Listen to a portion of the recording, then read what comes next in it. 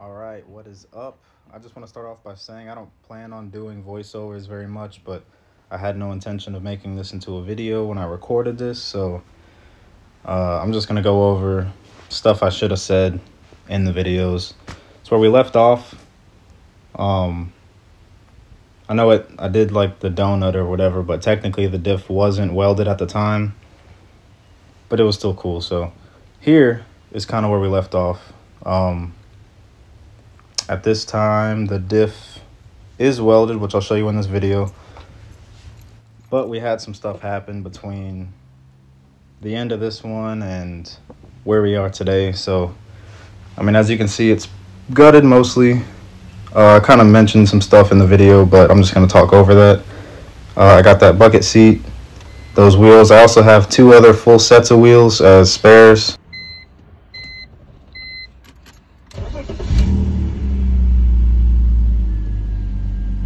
Runs good. Yeah, so I'm just going to talk over it. So that was, you know, the factory exhaust. Not too impressive or whatever, but back half of the car is gutted, and the windows are kind of just fixed right now. Uh, I don't plan on having them working, so um, they're just drilled into the bracket and being held up.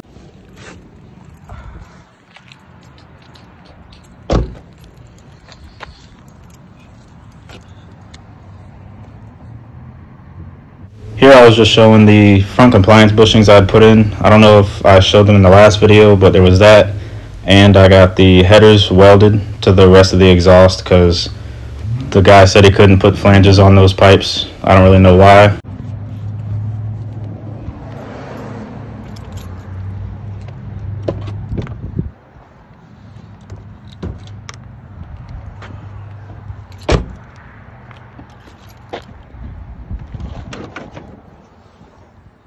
And we're still you know stock. Uh, it's got that little cone filter on it but other than that it's bone stock. And uh, I'm gonna get into the basically what I did since it was running to now.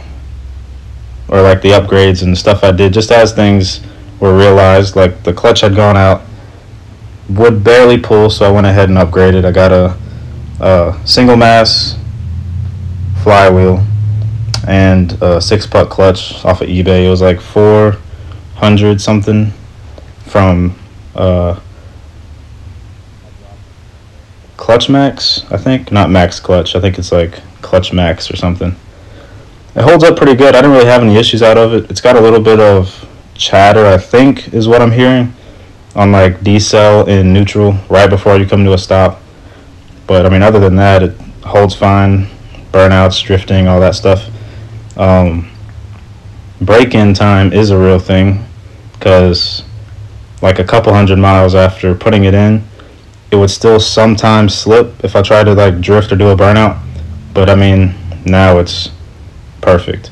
And I wanted to point out here, there's no bushing in that motor, which is why the um, old clutch went out, I think, or went out so fast.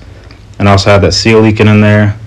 I got that all fixed up, put it all back together.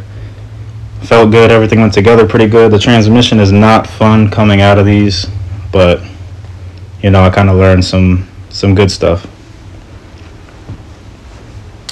Uh, something I kind of knew after my first time looking at the car was that my trans mounts were completely separated I had some vibration when accelerating and decelerating sometimes. It was pretty bad. But got those new poly ones in there, so that's good. I got that welded up. Uh, I cut out that lower section of the dash. Uh, I plan on putting like a panel there for my switches. And here is where I made the mistake of messing around one night. Hit a curb and both passenger side lower control arms got pretty messed up. Um, that's the front. My wheel was pretty much hanging off. That's the back. Um, that one wasn't too bad. And while I was back there, I went ahead and did my subframe bushings, which sucked. Uh, it took me forever to figure out how to get them out without damaging it, but once I figured it out, it uh, went pretty smooth going back together.